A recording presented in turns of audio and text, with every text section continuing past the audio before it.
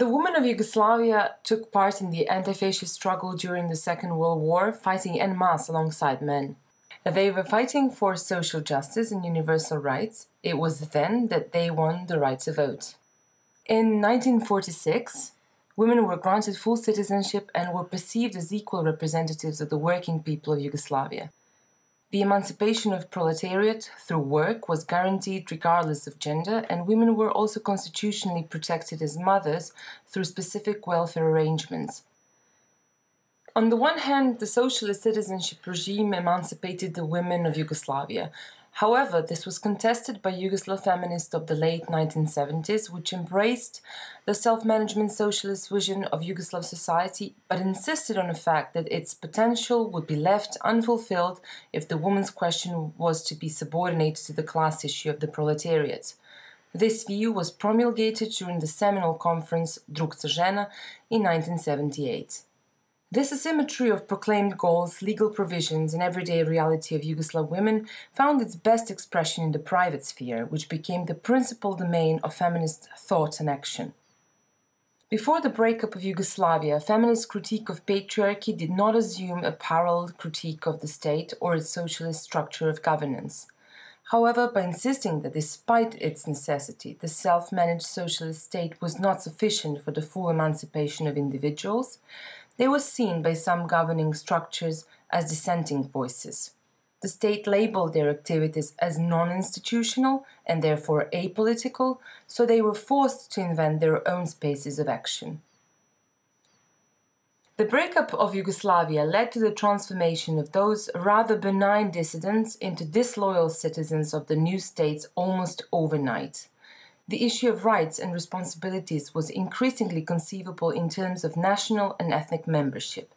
Belonging did not refer only to a chosen ethno national identity, but was enforced through the use of demographic policies, school curricula, and sexual violence such as war rapes.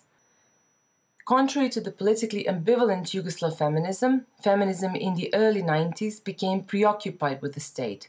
Whose state was it? Which were its borders? Who belonged, who did not, and why.